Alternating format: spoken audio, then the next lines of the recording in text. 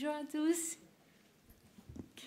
Euh, merci d'être venu aujourd'hui à, nous voir. On va parler un, peu sur euh, les nature-based solutions et un peu sur la biodiversité aujourd'hui avec notre panel des experts.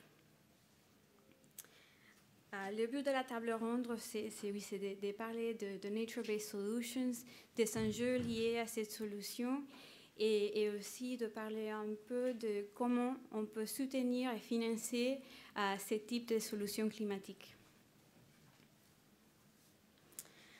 Euh, nous avons aujourd'hui euh, un problème, un grand, grand problème de, changement climatique, mais aussi de la perte de la biodiversité dans tout le monde. sur un, rapport de 2019, les rapports alertent de la perte de la biodiversité. 75% de, de, de, la surface terrestre est, euh, est, perdue et 80, euh, pardon, à 85% des insoumis euh, vont être perdus et dégradés d'ici à la fin de, 10 ans. Donc c'est vraiment une perte énorme et c'est un grand problème. Euh, pas seulement dans le, côté des animaux et de la biodiversité et, des, écosystèmes naturels, mais aussi il faut réfléchir de la, perte et de, la menace économique euh, pour, pour, tout le monde. Euh, je pense que les, chiffres sont que 50% du PIB global est, menacé, pour la perte de biodiversité et des écosystèmes naturels. Mais nous avons des solutions euh, basées à la, nature, les nature-based solutions, qui, font partie euh, de, des solutions pour, euh, pour la lutte contre les changements climatiques et la perte de biodiversité. Et ces, solutions, c'est focus surtout dans, les, systèmes écologiques, la biodiversité. On a des de la conservation de la forêt, à la reforestation, mais aussi dans les enjeux urbains, dans par, exemple les infrastructures, vertes. Euh, les avantages de, Nature-Based Solutions, c'est qu'ils ils augmentent les puits euh, de carbone dans les sols et dans les arbres, par exemple c'est des stratégies euh, pour la, lutte contre les changements climatiques qui sont peut-être un peu moins euh, chères que, par exemple, euh, les carbon capture and storage. Je ne sais pas comment dire en français, désolée. Um, et bon, pardon, j'ai oublié de me présenter. Je m'appelle Michelle Parra et je suis la responsable de, de de client development et projet chez Climate Seed. Um, Climate Seed, c'est un, social business et nous avons une, plateforme qui connecte des porteurs de projets, de différentes typologies de projets, avec euh, des acteurs privés euh, qui sont intéressés à compenser leurs émissions, à contribuer dans les projets euh, que nous avons. Maintenant, on a 35 projets dans notre plateforme et à peu près la moitié de, projets euh, chez nous sont de nature-based solutions. Et, ça, donne à, la conservation de la forêt, reforestation. Et par exemple, ce projet-là, c'est un projet de restauration et protection d'un mangrove au Mexique. Les mangroves sont super importantes. Euh, apparemment, les, scientifiques ils disent que euh, les mangroves capturent dix fois plus que le forest, des, forêts tropicales, que c'est énorme. Euh, et aussi, euh, les, mangroves sont super importantes euh, en termes de biodiversité. et pour ces projets-là, par exemple, les, projets protègent des, des, cocodriles, des flamants roses et des différentes pêches dans, dans, les mangroves. C'est un projet aussi super important pas seulement sur la biodiversité, mais aussi euh, dans la société, euh, parce que les, mangroves aident la communauté euh, quand il y a des événements d'inondation, par exemple. Et, aussi, c'est un projet super important parce que c'est la communauté qui est en charge des projets. Et donc, c'est assez spécial et, super important. Et donc, encore, le but de la table ronde, c'est de parler de, ces solutions liées aux nature. Et nous avons ici notre, notre expert. Euh, on a euh, Olivier Forçon, qui est le directeur et le fondateur de Ma Forêt. Euh, nous avons aussi Régine Touffet, qui est la secrétaire générale de la direction des forêts et des risques naturels à l'ONF. Et finalement, Thomas Binet, le directeur et fondateur de Vertigo Lab et Blue Seeds. Et donc, je laisse la parole à Olivier Forçon.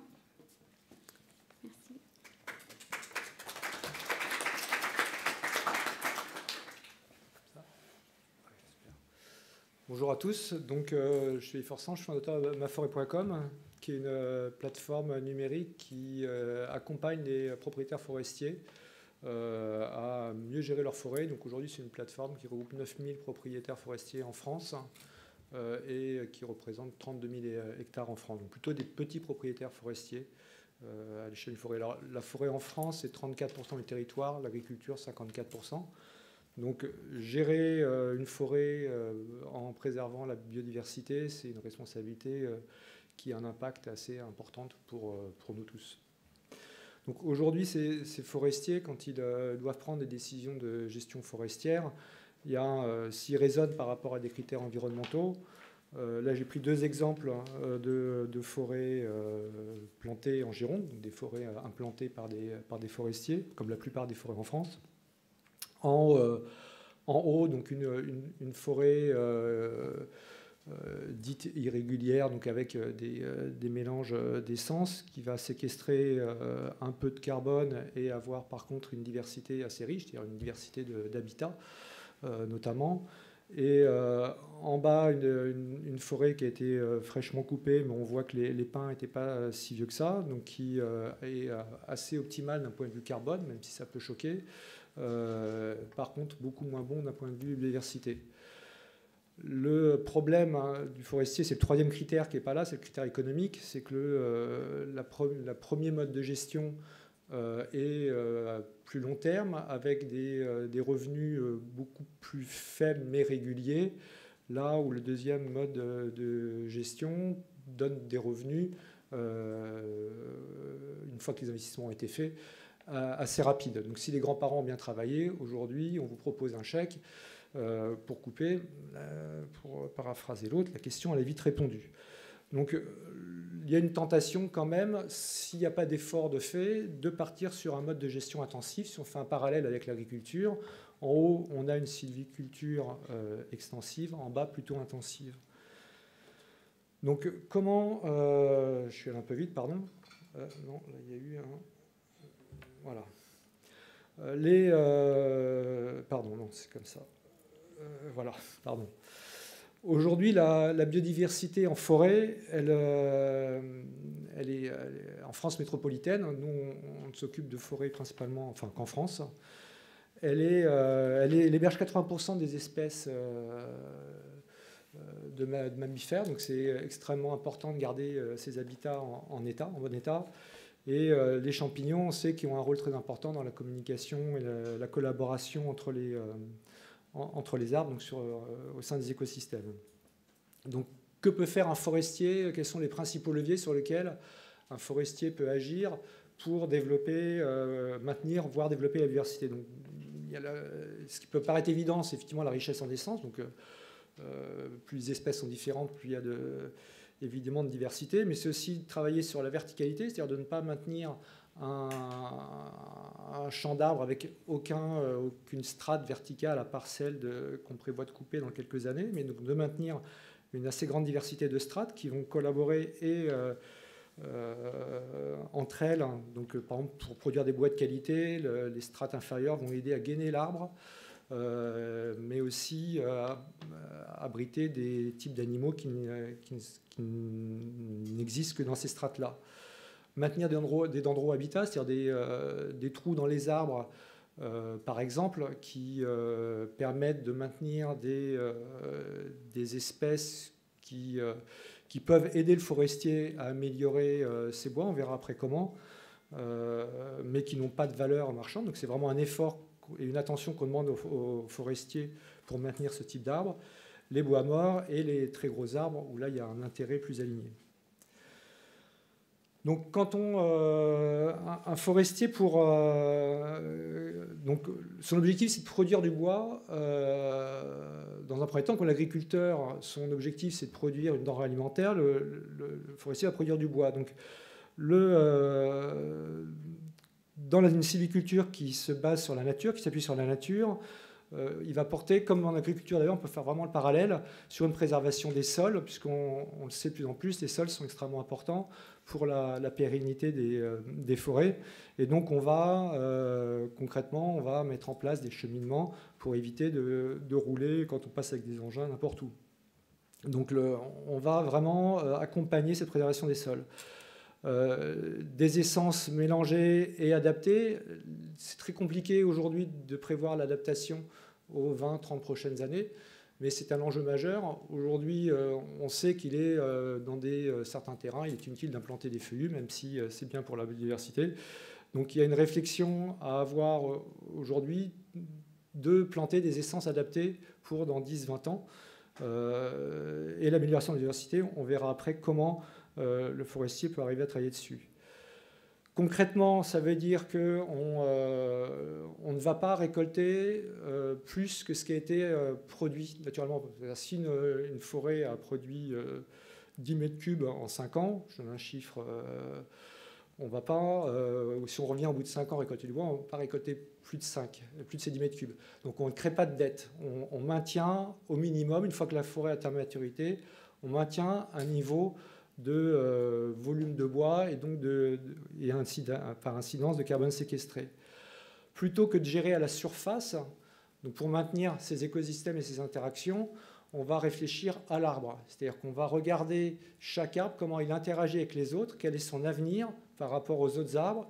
Et donc plutôt que de couper sur une unité de surface, on va raisonner sur des, des, une sélection de certains arbres pour laisser de la place à des plus jeunes qui sont plus prometteurs ou euh, pour euh, euh, développer des, interactions, par exemple faciliter le gainage d'autres ou autres. Donc ça, ça a une autre conséquence, principe, c'est qu'on va intervenir donc, régulièrement et plus légèrement pour, pour maintenir cette, cette, richesse de l'écosystème. Donc, hop, c'est dans l'autre sens. Non, pardon. Donc euh, comment, euh,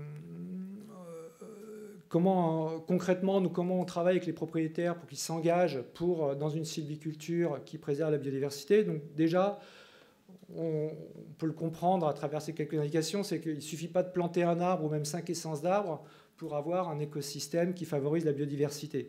Ça nécessite un engagement dans le temps, avec des travaux d'entretien, de sélection, euh, qui, euh, nous, on estime qu'une durée de 20 à 30 ans est un, est un minimum pour qu'à la fin, on ait, un, on ait vraiment une forêt euh, qui soit résiliente.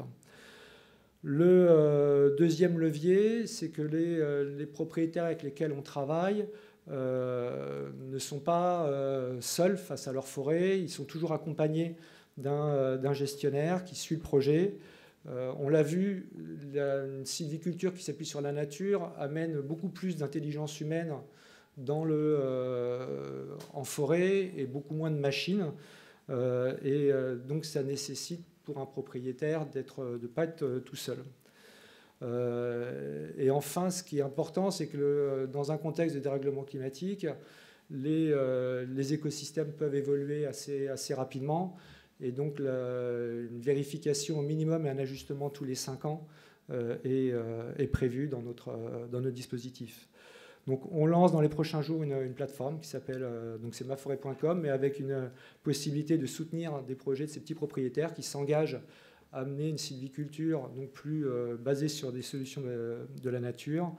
Et donc, certains ces projets sont labellisés bas carbone, donc ça permet à un particulier, par exemple, de, d'acquérir des, crédits du label bas carbone ou de soutenir euh, simplement des, projets qui, euh, auprès de, forestiers qui s'engagent dans cette euh, sylviculture proche de la nature. Je vous remercie.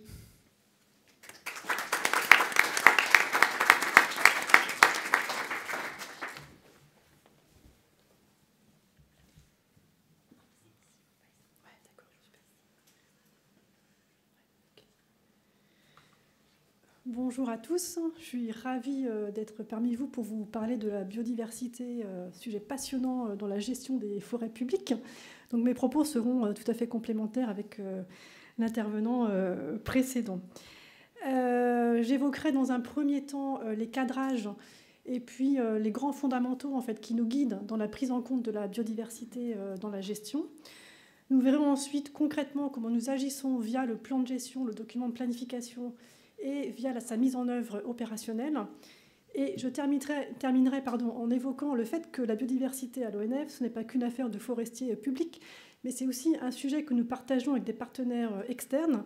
Et ce sont des belles histoires avec euh, des associations, des entreprises euh, sur le terrain. Alors, je rappellerai pour commencer euh, le périmètre d'intervention de l'ONF. Donc l'ONF est gestionnaire des forêts publiques. Comme l'a rappelé euh, Olivier, euh, la forêt française, c'est 17 millions d'hectares, 31% du territoire, et 25% de ces 17 millions d'hectares sont des forêts publiques. 9% sont des forêts du domaine privé de l'État, donc les forêts domaniales, et 16% sont des forêts qui appartiennent à des collectivités, donc à des communes, à des établissements publics essentiellement. Et donc nous gérons une grande diversité de forêts d'abord, mais également de milieux naturels associés, donc des pelouses, des landes, des milieux humides, des mares, parfois des falaises dans lesquelles on a des, rapaces, enfin voilà, une grande diversité. Alors, la biodiversité fait partie intégrante de la gestion de nos forêts et parce qu'en fait, elle est encadrée aussi par différents textes, différents documents de cadrage. En premier lieu, forcément, le code forestier, qui précise que les bois et forêts qui relèvent du régime forestier satisfont à des besoins d'intérêt général et prennent en compte la biodiversité. Ensuite, nous appliquons des directives nationales d'aménagement forestier, donc l'aménagement et le plan de gestion de nos forêts. Ces directives sont euh, approuvées par le ministre en charge des forêts et euh, identifient une des quatre fonctions, euh, identifie la fonction écologique en fait comme une des quatre fonctions principales des forêts, aux côtés de la fonction de production de bois, d'accueil et de protection contre les risques naturels. L'ONF a aussi signé un contrat avec l'État en 2016 qui est en vigueur et dans l'axe 2, en fait, l'État nous dit qu'on doit relever le défi de la préservation de la biodiversité. Et enfin, l'ONF est doté d'une politique environnementale depuis 2006 avec cinq axes stratégiques et la biodiversité est un des cinq axes.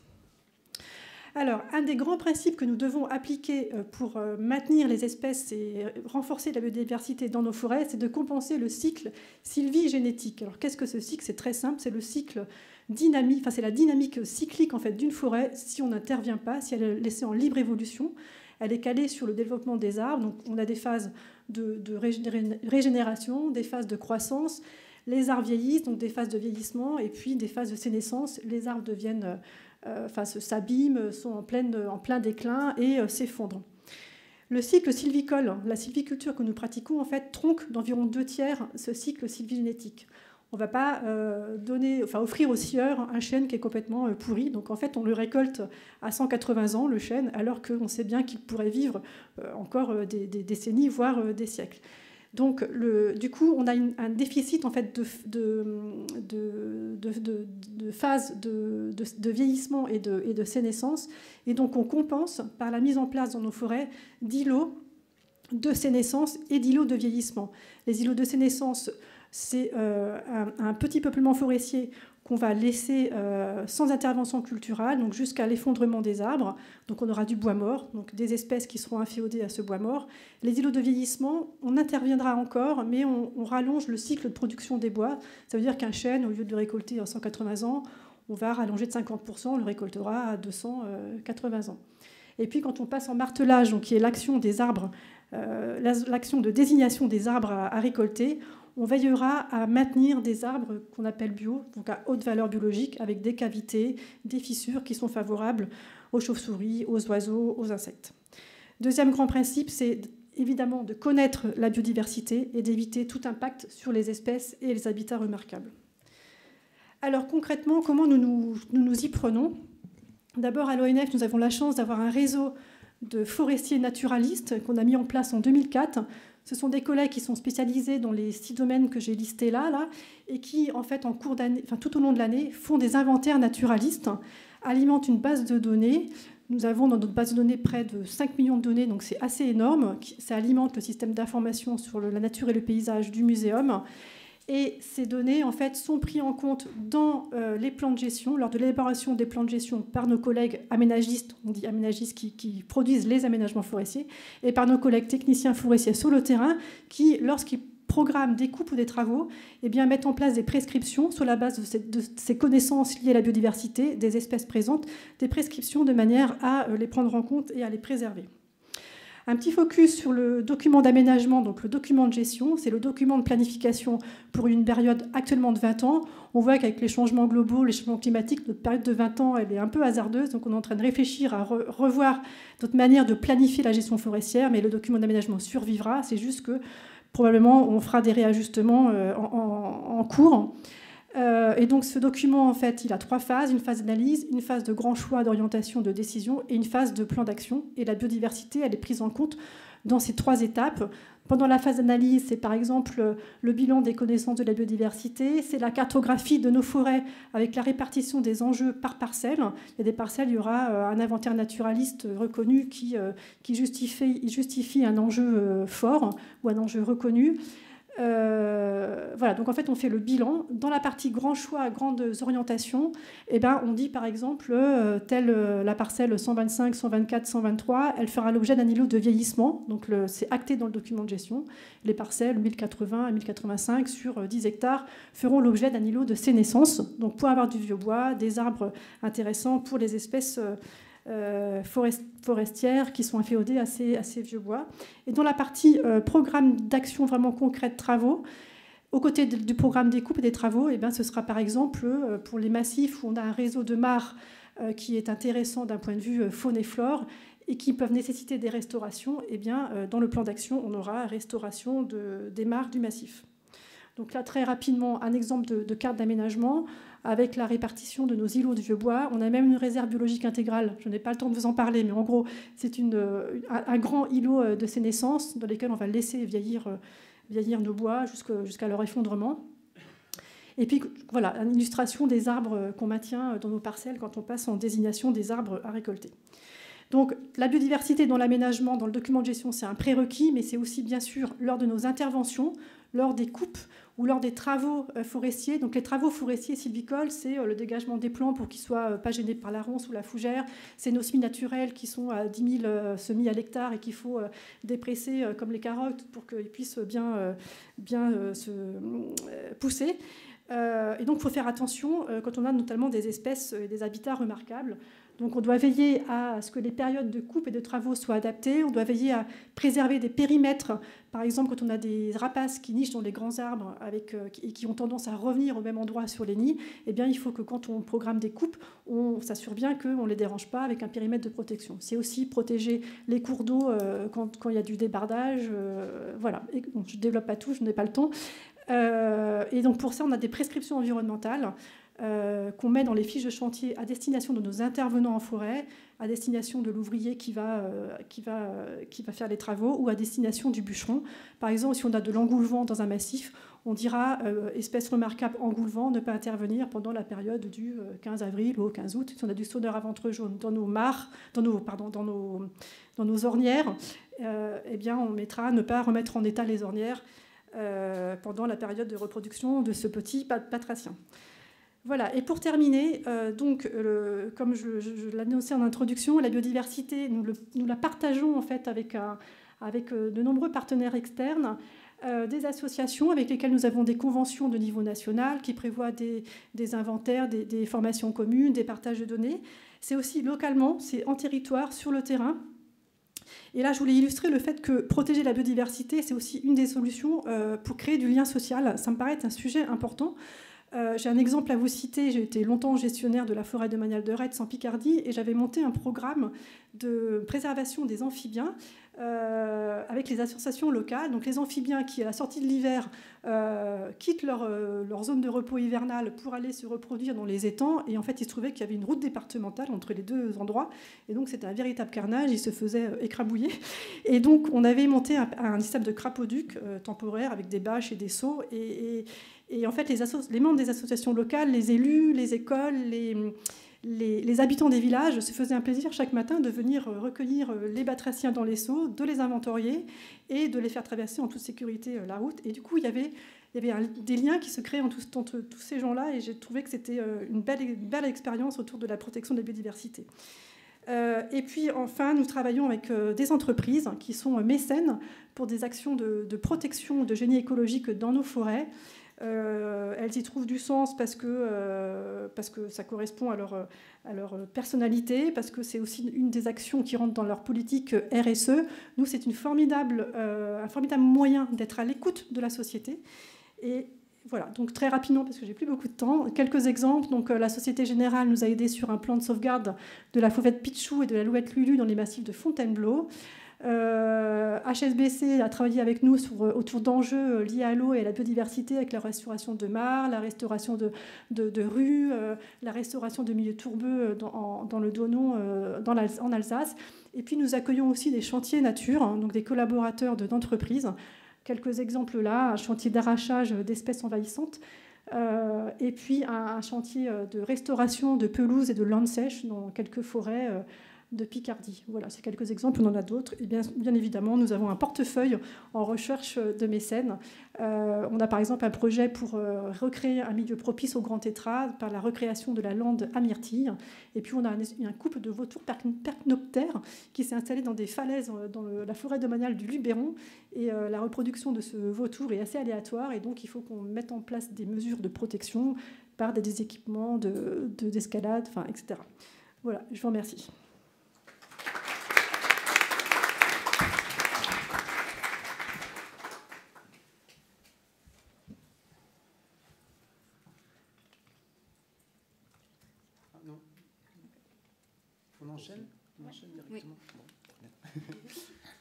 Bonjour à tous. Alors, sans transition. Euh, donc, moi, je, voudrais juste me, présenter. Moi, j'ai été présenté comme le fondateur de Vertigo Lab et de Blue Seeds. Donc, je vais d'abord commencer par la casquette Vertigo Lab et vous parler donc euh, de ce qu'on fait euh, dans ce bureau d'études qui est spécialisé en économie de l'environnement. Donc, nous, on, est vraiment spécialisé sur la mesure d'impact socio-économique et environnemental. Et on, on, travaille depuis maintenant plusieurs années sur ce sujet des solutions fondées sur la nature.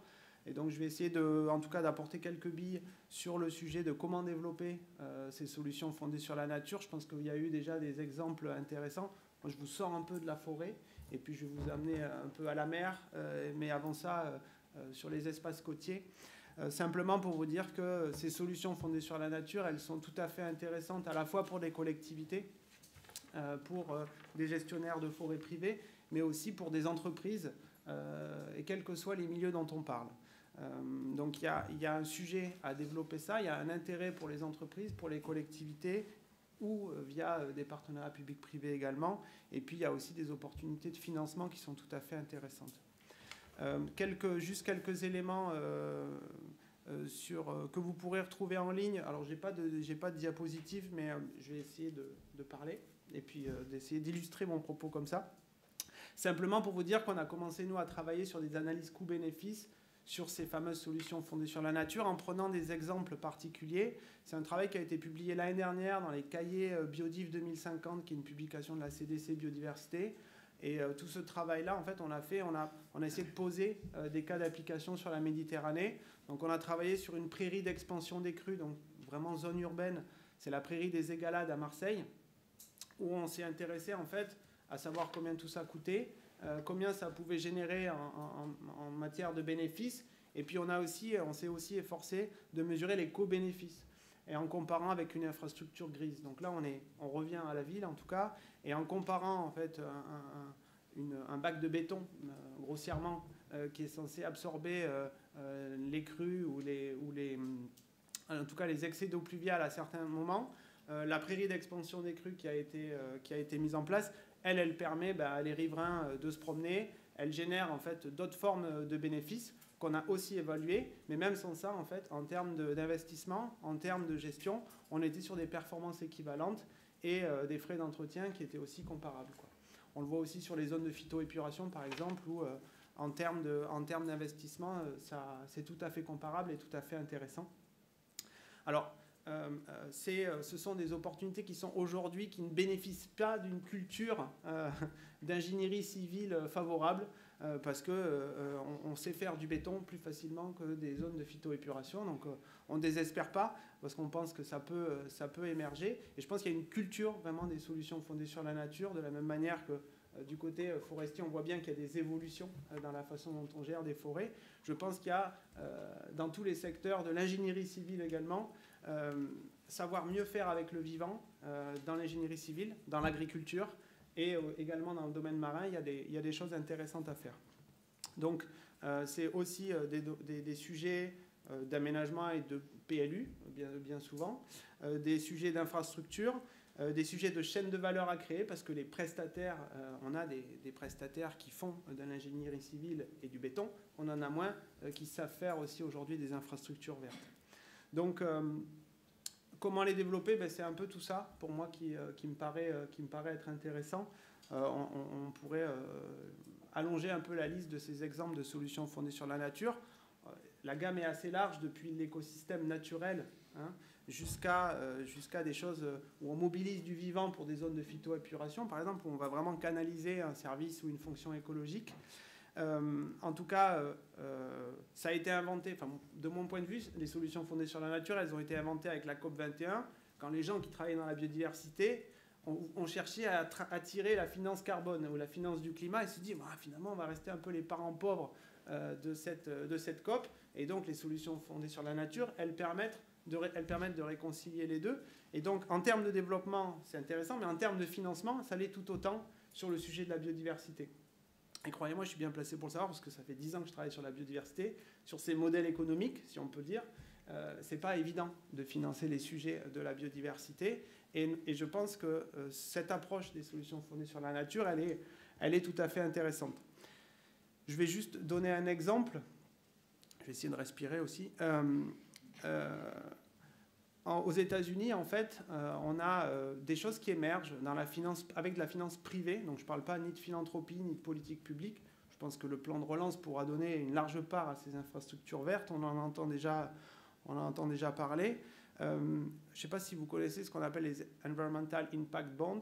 C'est peut-être mon accent excellent qui vous fait pas reconnaître ça, mais, mais En, gros, c'est des, euh, mécanismes de, pay for success, c'est-à-dire qu'on va payer au succès euh, d'un dispositif ou d'une infrastructure. Et donc, euh, Washington, D.C. a mis en place un, projet comme ça, en fait. Il y a un partenaire tiers qui travaillait avec DC Waters, donc l'institution qui gère l'eau pour Washington, D.C. Et ils ont dit, en fait, pour faire sortir tous les excès d'eau pluviale euh, de, de la ville de Washington, il y a, euh, on va construire des gros pipes et euh, on va les, les, faire déverser dans la Chesapeake Bay et, et, comme ça tout ira bien. Et donc il y a eu un, scénario alternatif qui a été développé et qui a été développé par DC Waters où ils se sont intéressés à ça. Ils ont dit ben, est-ce qu'on ne pourrait pas mobiliser un, grand champ d'expansion des crues et trouver une alternative finalement à la construction de ces gros pipes et pouvoir assurer un rendement potentiellement équivalent?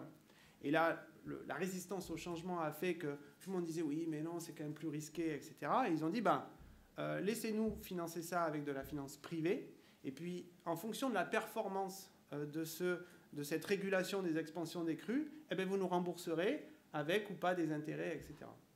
Donc c'est tout récent, hein, ça a un an ou deux, peut-être un peu plus, mais euh, les premiers résultats sont extrêmement concluants. C'est-à-dire que c'est la finance privée qui a été, pour une fois, à l'origine, en tout cas, d'un changement euh, de politique publique et d'investissement. Et en fait, on constate que euh, c'est aussi par ces dispositifs-là qu'on peut mettre en place, lever cette résistance au changement et démontrer que des alternatives sont possibles.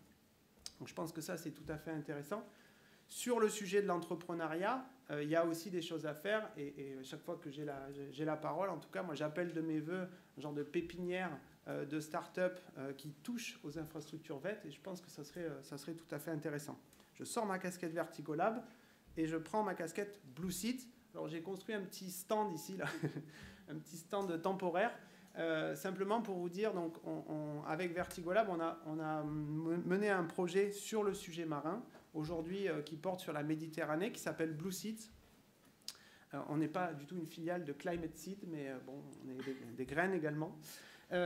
Tout ça pour vous dire qu'en en fait, on s'est aperçu que il y avait de, la finance qui était mobilisable sur ces sujets de solutions fondées sur la nature, sur ce sujet de la conservation marine. Euh, il y avait des porteurs de projets qui potentiellement avaient besoin euh, de ces financements. Et nous, en fait, on, a, on s'est dit, ben, on va créer en fait une équipe, une plateforme pour essayer euh, de, de, professionnaliser les, les, porteurs de projets, professionnaliser les projets de conservation marine et essayer de mettre en relation les financeurs d'un côté et les porteurs de projets de l'autre. Et donc, on, a, on travaille aujourd'hui en Méditerranée depuis deux ans avec des choses tout à fait intéressantes. Et donc, l'application dont je voulais parler, c'est on travaille sur les, herbiers de Posidonie. je, pense que tout le monde connaît, c'est les, trucs qui vous embêtent l'été. Là, ça fait des grosses banquettes sur les plages, en fait, avec des petits morceaux qui collent aux pieds. Euh, ben, c'est un écosystème qui est tout à fait intéressant. Euh, on parlait tout à l'heure de, flux euh, par rapport à la forêt tropicale. En fait, les herbiers de Posidonie, en termes de stockage, par mètre carré, peuvent stocker plus que la forêt équatoriale.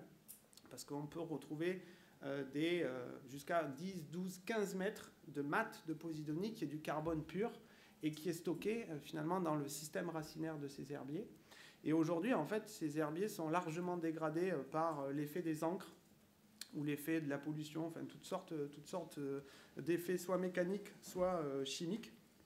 Et donc nous, aujourd'hui, on cherche à développer des solutions entrepreneuriales qui permettent de, de, venir contrebalancer et de maintenir et là, typiquement, l'herbier, c'est une solution fondée sur la nature parce qu'elle est à la fois, euh, donc elle capte du carbone, et aussi elle permet de l'adaptation puisqu'elle fournit, en fait, c'est en termes de services écosystémiques, c'est ce qui permet de réguler euh, l'érosion, euh, de protéger justement les plages de l'érosion, de l'érosion des, vagues, etc.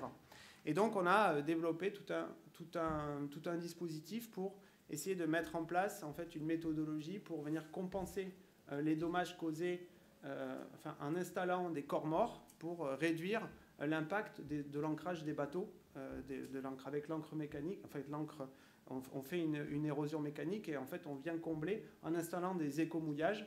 Et donc, on cherche notamment à faire financer ça. Il y a des opportunités tout à fait intéressantes. Je me propose d'en dire un petit peu plus puisqu'on me fait comme ça. Et, et voilà. J'arrête là. Et peut-être juste pour le site, donc c'est www.blueseeds.org. Voilà. Merci à tous euh, pour vos interventions qui étaient très intéressantes. Je suis désolée qu'on n'ait pas plus de temps pour parler des herbiers de Posidonie, même si c'est un sujet passionnant. Euh, est-ce que vous avez des questions? J'en ai pas vu forcément au hashtag. Euh, voilà, qui voici. Euh, si vous avez des questions, vous avez une voix qui porte, vous pouvez vous lever et parler ou juste parler euh, fort. Et puis, alors est-ce qu'il y a des questions sur l'une des quatre interventions? Ou sur un sujet qui n'aurait pas été abordé qui vous intéresse Alors, de mon côté, j'ai une question qui n'a pas été abordée pendant cette table ronde, qui est sur la mesure de la biodiversité comment mesurer la biodiversité? C'est vrai que donc, euh, je travaille avec Michel chez Climate Seed et c'est une question qui revient extrêmement souvent. Comment mesurer euh, euh, un impact positif en termes de biodiversité L'impact carbone se mesure facilement, la biodiversité un petit peu moins. Alors, je pense que c'est une question qui n'a pas vraiment de réponse fixe, mais peut-être avez-vous des éléments de réponse à apporter qui pourraient intéresser la salle Oui, et pour compléter, c'est aussi de voir la différence entre un forêt publique, un forêt privée et la mer. Ça peut être Bonne chance. Peut-être plus facile de répondre à la première question que la deuxième. bah, je suis sûr, mais. Euh, sur, la, sur la mesure de biodiversité, alors la biodiversité, ce qui est compliqué, c'est qu'autant le, le, carbone, ça se compense, autant la biodiversité, c'est très compliqué de compenser. C'est-à-dire qu'une fois qu'une espèce a disparu ou n'a plus d'habitat, bon voilà, c'est fini.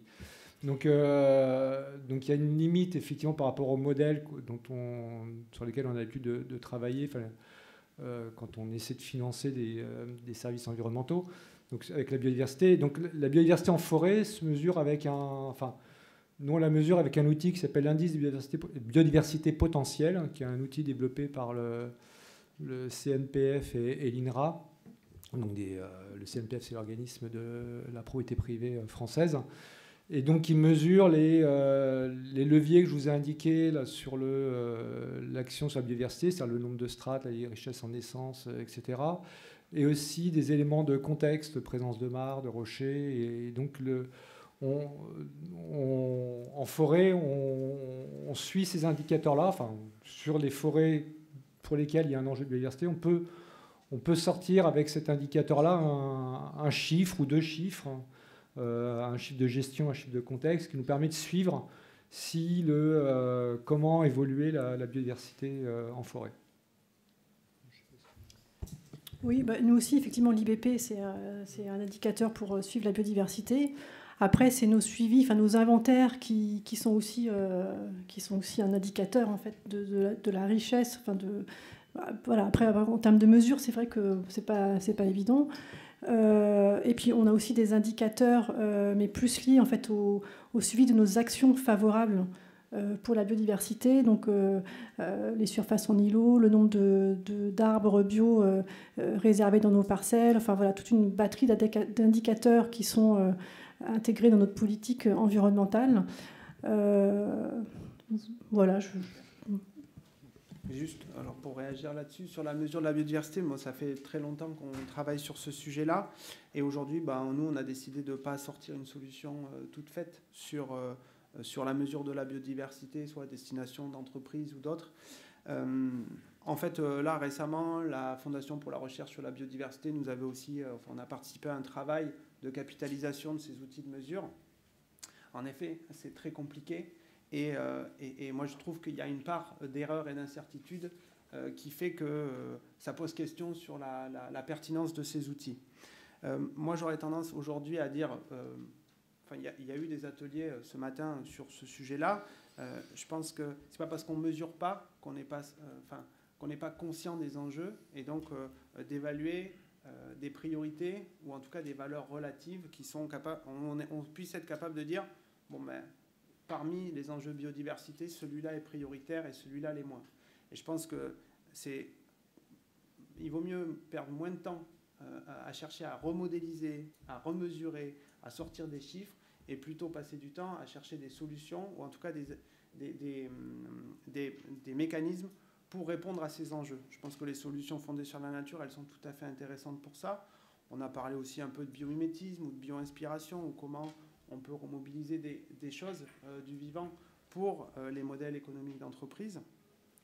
Euh, en tout cas, moi, ça c'est le premier élément que je voulais, que je voulais dire. Le deuxième, c'est que je crois beaucoup plus, finalement, d'une certaine manière, à des sondages. Nous, c'est ce qu'on s'efforce de faire aujourd'hui, c'est-à-dire plutôt que de recréer euh, euh, l'impact d'une entreprise sur la biodiversité de toute pièce sur un fichier Excel. J'exagère le trait, bien sûr, mais, plutôt que de faire ça, en fait, euh, l'idée, c'est de faire des sondages, c'est-à-dire d'observer certains points saillants des modèles économiques, certains points saillants de dépendance de certaines ressources, de risques et de dépendance, et d'essayer de dire, ben, de mettre le doigt en fait sur des dépendances fortes et des manques de résilience à certains aspects au niveau de la biodiversité. Et je crois beaucoup plus à cette approche-là aujourd'hui, en tout cas, euh, que euh, à chercher à mesurer à tout prix, à la virgule près, euh, comme on peut le faire avec du carbone ou, même avec des analyses de cycle de vie. Merci beaucoup. Est-ce que quelqu'un a une question? Alors, il nous reste deux minutes. Donc, je, bah, madame et puis monsieur. Et on va essayer de condenser ça dans les allez, on va dire cinq minutes qui nous restent.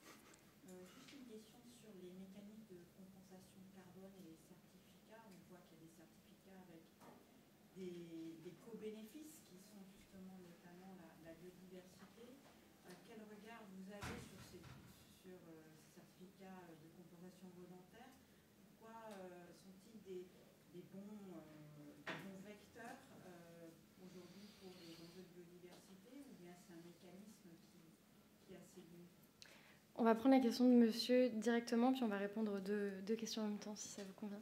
Une question, c'était sur. Euh, on, a vu que vous aviez des actions pour limiter les dégâts sur la biodiversité, en tout cas mesurer, mesurer ce qu'il en reste.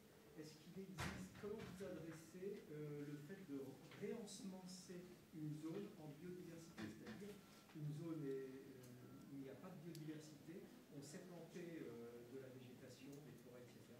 Comment on fait pour décider d'un biotope qui n'existe pas encore et y a-t-il des moyens qui sont déployés aujourd'hui pour le faire Bon, je peux répondre aux premières questions, pas la deuxième. Euh, maintenant, la, compensation carbone, c'est vraiment un outil pour euh, financer les projets euh, de, Nature-Based Solutions qui sont liés à la biodiversité. Maintenant, il n'y a pas vraiment un, un, outil de compensation de biodiversité, et c'est ça les limites de la compensation carbone. Euh, mais euh, si je comprends bien, il y a des, des groupes euh, maintenant qui sont en train de voir exactement comment mesurer la perte de, biodiversité de, chaque entreprise, par exemple. Et j'espère qu'on aura un moyen, j'imagine que ça va être avec les, les, projets liés aux au Nature-Based Solutions, pour compenser la perte de biodiversité pour peut-être une entreprise. Mais il y a, il y a des limitations pour, pour la, la, compensation carbone volontaire sur, sur la, la, biodiversité. Et la deuxième. Pour la deuxième question, je vous laisse. Euh... Thomas Oui, je, bah, en fait, juste pour rebondir là-dessus, parce que en fait, les SFN, c'est ce, qui a, c'est ce qui permet de relier justement ces marchés carbone avec euh, des actions de biodiversité. Et ça a créé, euh, enfin, ça a créé un appel d'air euh, des actions de biodiversité. Donc moi, je, moi, je trouve que c'est tout à fait intéressant parce qu'on n'a pas d'équivalent aujourd'hui sur la biodiversité. On entend parfois la compensation écologique, c'est un marché. Euh, en fait, c'est pas vrai. C'est une action réglementaire qu'on qu on vient compenser, mais, mais ça ne crée pas euh, d'opportunités particulières. Avec l'augmentation de la tonne de carbone volontaire récente, en tout cas, parce que nous, les, premiers calculs qu'on a fait sur le, les herbiers de Posidonie, par exemple, sur le parc national de Port-Cros, euh, si on avait voulu faire de la compensation euh, carbone avec des herbiers, on sortait une tonne à 700 euros. Euh, ça fait, c'est pas, c'est pas terrible, mais bah, c'était lié au, corps mort, enfin aux écomouillages qui étaient importants. mais aujourd'hui, on a, on a amélioré un peu à la fois les solutions proposées et, et les méthodes de calcul. Mais en fait, ça, ça, ça, permet d'avoir un lien qui est tout à fait, qui est tout à fait intéressant, qui n'existe aujourd'hui pas dans la biodiversité. Et puis sur la question de, monsieur, sur comment, euh, quand on part d'une page blanche, alors il n'y a jamais vraiment de page blanche en biodiversité, hein, mais quand on part d'une page blanche, euh, comment est-ce qu'on fait? Moi, moi, je, pense que c'est une question qui appelle beaucoup de choses. Nous, on a plusieurs, euh, on, a, on a fait des travaux, notamment euh, avec le BRGM, etc., sur comment est-ce qu'on repart des sites et sols pollués, par exemple, pour recréer des espaces qui fournissent des services écosystémiques, déjà d'abord des fonctions écologiques, et puis peut-être plus tard des services écosystémiques. Ça, c'est un levier. Euh, le fait de réensauvager, c'est encore autre chose.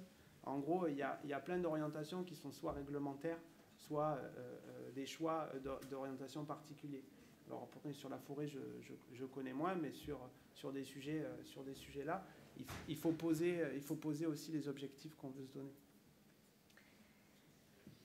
Je, je, vais devoir malheureusement arrêter euh, la discussion ici, qu'on peut évidemment prolonger dans le couloir. Merci à tous d'être venus euh, aujourd'hui.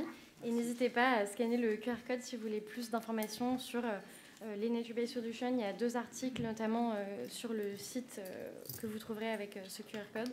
Et merci à tous, merci à nos intervenants. Merci. Merci.